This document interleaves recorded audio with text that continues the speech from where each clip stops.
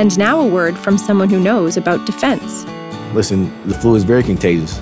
Um, just by example, if I caught the flu and I went to our locker room and I gave Naaman Roosevelt the flu, or I gave uh, Cardi Grant or Otha Foster the flu, it's just a triple effect. Now those guys can't play as well. And uh, that'll be detrimental to us winning the game or losing. And I would say a lot of those guys have kids. When they go home, they, don't, they can get their kids sick. Defend yourself and your family. Get a flu shot from your pharmacist. Learn defense at wedofarmore.ca.